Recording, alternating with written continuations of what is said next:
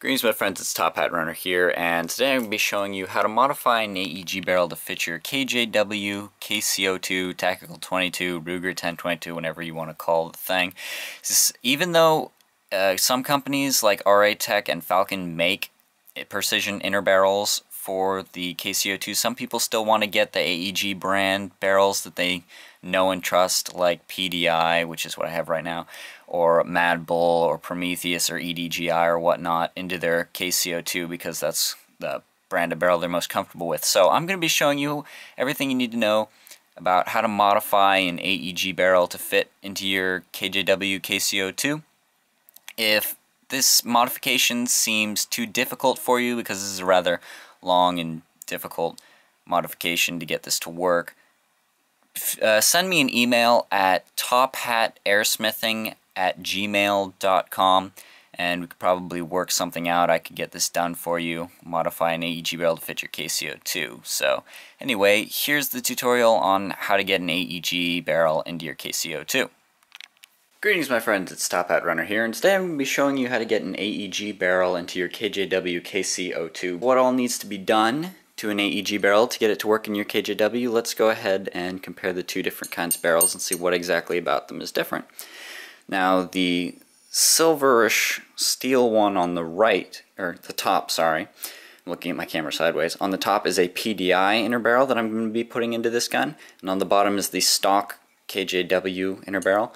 Now you'll notice two differences right away.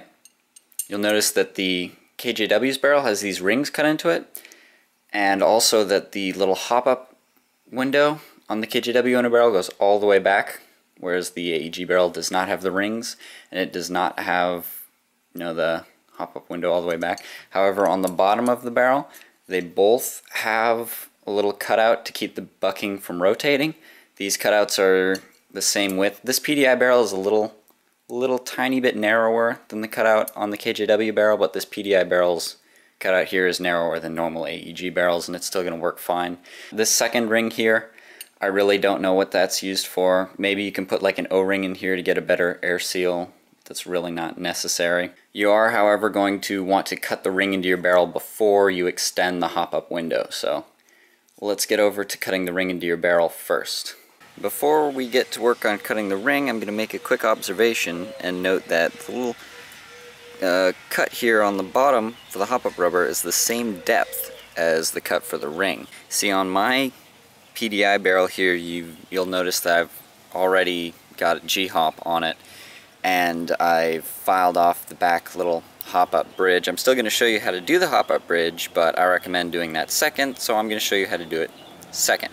I've already got mine filed off because you don't need to cut the ring into your barrel to get the gun to work with the P uh, AEG barrel. Okay, so I was mistaken. You do in fact need to cut the ring into your barrel because if you don't, your barrel can just slide right out of your gun. There's nothing to actually... Well, without the ring, your bucking cannot clip onto your barrel, and your bucking clipping onto your barrel is the only thing that keeps the barrel in your gun. Yeah, if you don't cut the ring into your barrel, it might just fall right out of your gun during gameplay. So let me show you what you're going to need to cut the ring. Now, if you don't happen to own uh, several thousand dollar machining equipment, you're going to have to buy a few of my parts off Shapeways to get a good ring cut into your barrel. You're going to need the AEG KC-02 barrel cutter, I forget what exactly I named this, but something like that. And you're going to need the AEG barrel drill adapter. I'll show you how to use those in just a minute. And you're also going to need a very small file with a width of about one and a half to two millimeters. Anything smaller than that will not work. You could probably use something bigger, but I have no idea how the performance will work. You're also going to need an electric drill. Okay, so how the drill adapt. Let me get this on my tripod here. Okay, so the drill adapter works like so. Gonna head, go ahead and take your drill adapter and put it over the end of your barrel that does not have the hop-up window cut out. So it's the outward end of the barrel the BB leaves. For the drill adapter here, I tried to make it the right width of pretty much any barrel, but that's not really possible because the outer diameter isn't the same on every barrel. Now if you push it down far enough, it gets a really good grip on pretty much anything. Uh, it's wide enough to fit any barrel that I've tried. My PDI is actually the widest AEG barrel. Sorry, the widest outer board AEG barrel I've ever had. The inner bore is 6.01. So anyway, if your drill adapter here is too wide and it's not quite holding on to your barrel enough, just take some pliers and bend it down a little bit. You don't do it too hard or you'll break it. And then it'll get a good grip on your inner barrel. Be a lot tighter. You're going to want to put this in your drill.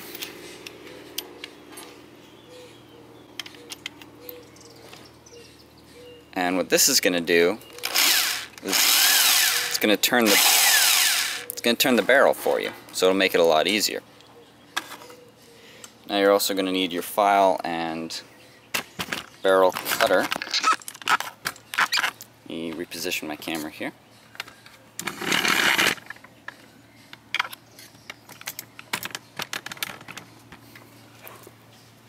Uh, we're going to see if my G-Hop survives this process.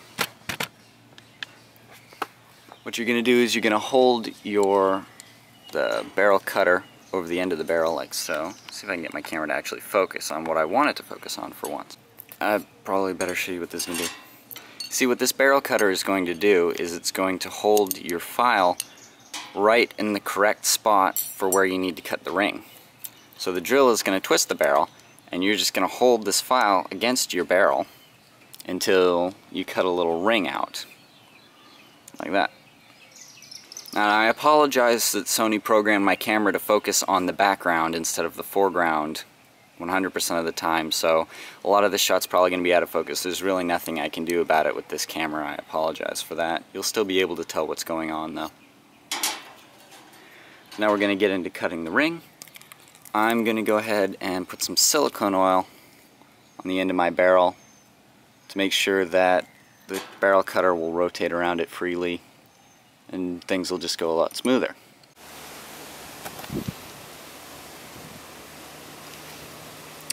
Okay, so I'd actually recommend holding paper towel over quite folded over quite a few times between your hand and like the file and stuff because these things do tend to heat up while you're filing away.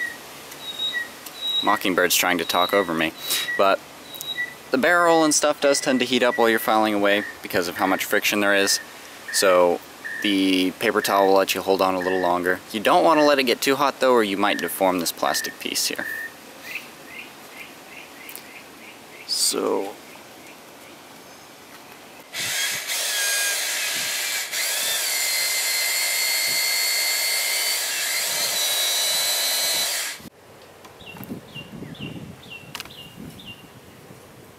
And you see what that's going to do is give you a nice little guideline and a beginning cut of where you're going to need to cut the ring into your barrel. Now, you can't actually cut a ring into your barrel with that, not with a stainless steel barrel anyway.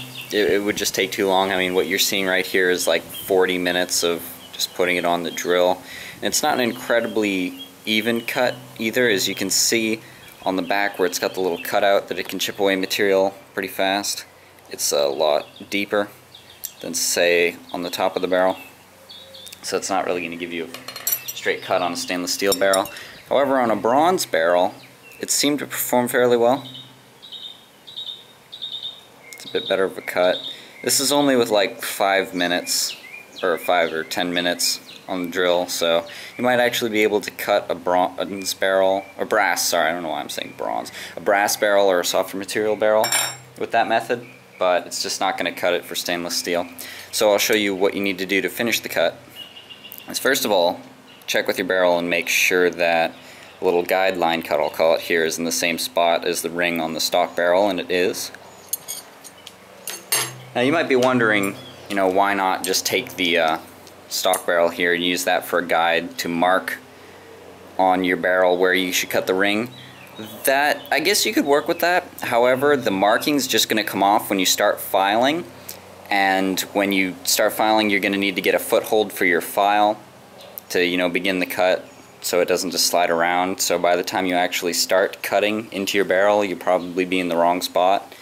So this uh, little cut here is going to keep your file in place. You know, it's already started off for you, so it's just going to make everything a lot easier. So to start off here, we're going to start on the back of the barrel here, where the little cutout on the bottom is, and use that for a guide. And you're going to be using the small hand file I mentioned here to cut the ring into your barrel. And you're just gonna go around the barrel slowly. I'll, I'll, show you more what I mean by that but you notice here the cut on this is a little wider than my file because I tried to use a diamond saw at the beginning. See it's a little a little wider. It's a little too wide for the cut. Actually you might be able to make the cut wider but I don't know how that'll affect performance. But anyway I'm gonna go ahead and start here and just uh, file the ring into my barrel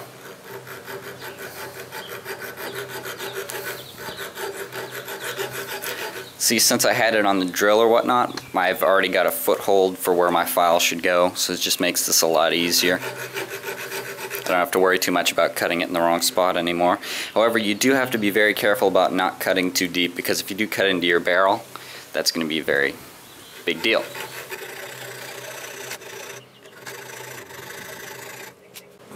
Mosquitoes everywhere right now.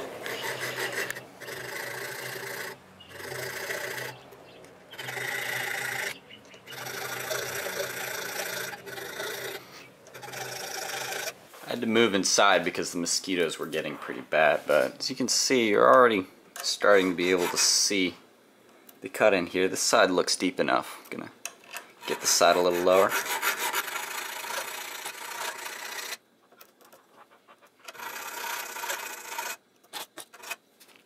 Okay, so I guess my camera can't focus when it's zoomed in that much, but you can see here that cut's definitely deep enough going to go ahead and get out my manly pink Sharpie here. Just mark my file about where it's deep enough. So I'm going to have a little reference marking here for how deep to cut it. And what you're just going to want to do is just go around your barrel a little bit at a time and just carve that ring into it.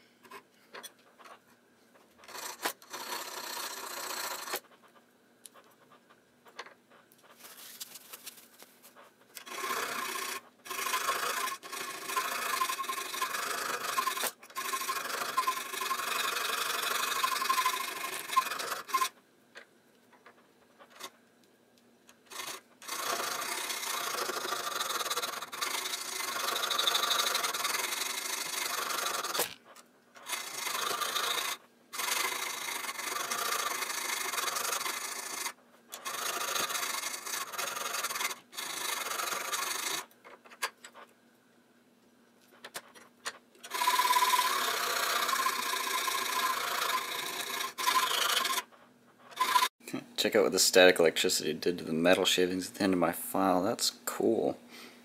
Okay, so now you can see I've got a nice little deep ring cut into my barrel.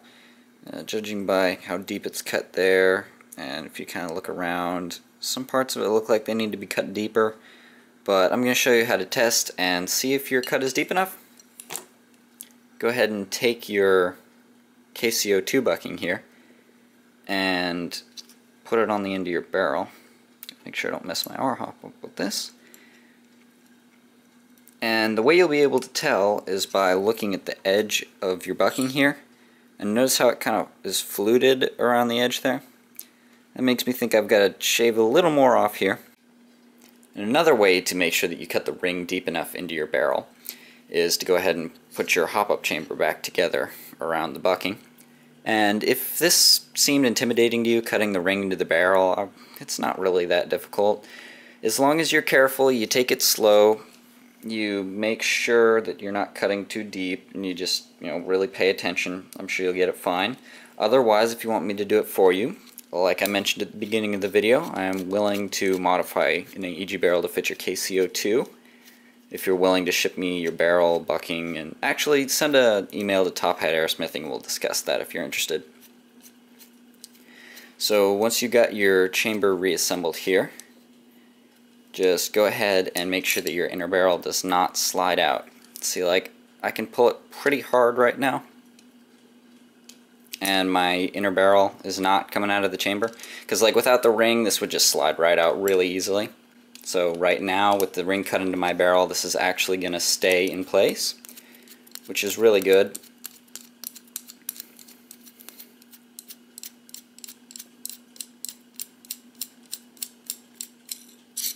And another thing is the bucking actually comes out with the barrel, which it didn't do before I cut the ring into it. And also, like I said, the end here is fluted up a bit. That'll actually also happen if you cut the ring a little too far forward. It won't only happen if it's not deep enough. But if you cut the ring too far forward, that's fine. It'll still hold on very well, like I said. In fact, it'll probably hold on better if it was in the right place. It'll definitely hold on better if it was too than if it was too far back. So since the barrel is staying in the chamber. I know that my cut's deep enough, so let's move on to the next section. Okay, as I've already explained, I recommend cutting the ring in the barrel before you do this, but I don't really have that luxury right now, so I'm just going to go ahead and show you how to do this anyway.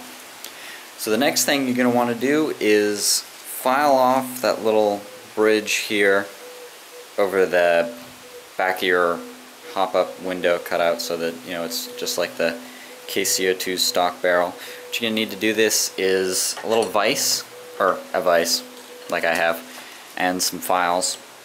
If you're working with a bronze barrel, or really any barrel, you don't want to pinch your vise down too tight because, especially with bronze, you could easily twist this so tight that it like flattens your barrel and you can't shoot a BB through it. Like I said, especially if you're working with bronze.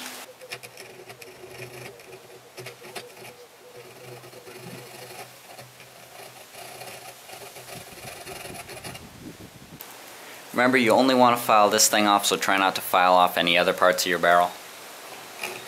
Like, try not to mess up this part or anything.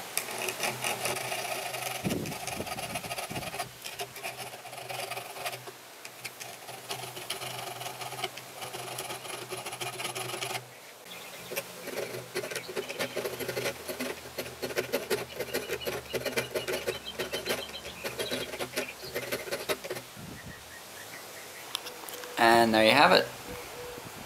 There's that one little bit of metal holding on.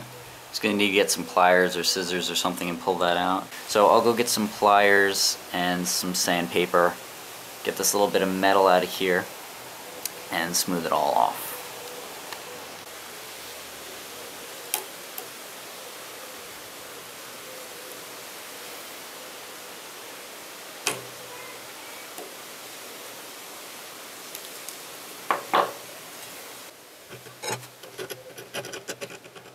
If you are going to try and file the little edges of this, that the little bit of metal left off with a file, be very careful not to scratch the inside of your barrel. A bit of diligence, it really shouldn't be too bit of a problem. The top of this is all even and flush. Now for getting the metal shards out of your barrel, I would actually not recommend running a cleaning cloth through here because, you know, metal shards being pushed along metal, it can scratch your barrel which if you're going for as high accuracy as possible. The next thing I'm going to go ahead and do is get out my hose and just wash water through here because that's going to be ways of getting metal shavings out of your barrel that don't like possibly lead to any scratches but as you can see here now we get a nice little you know cut all the way to the end of the barrel and be able to put a KC-02 bucking on here and get hop up. Okay one final thing to mention about modifying AEG barrels is that if you take a look here you'll notice that the hop-up window cut on the AEG barrel is a lot deeper than the cut on the KC-02 stock inner barrel. So, if you're using the standard KC-02 buckings with the modified AEG barrel, it's going to overhop anything lighter than 0.30 gram BBs. With 0.30 gram BBs, the hop's a little high, but it's usable, so I imagine 0.36s would be fine, but 0.43s and 0.4s, which you should probably be using anyway, um, they work fine. If you want to use lighter BBs with this gun, which you shouldn't, but if you wanted to, what you could do is get some pieces of paper. Let's get a piece of paper and just cut little squares out of it that are the same size as the sides here and super glue like one sheet of paper down and another sheet and another sheet and just a stack of them until it's the same height as the KC-02's inner barrel. And what that's going to do is it's going to hold the buckings, sorry, the hop lumps on the KC-02 buckings farther up, so they're not going to be as far down into your barrel. So when your hop up is off, it's not going to overhop the lighter BBs. I know that sounds kind of ridiculous, but I really don't think it's that big of a deal. And that's everything you need to know about getting an AEG barrel into your KJW KC-02. Hope this video helped you out and told you everything you needed to know. Take care.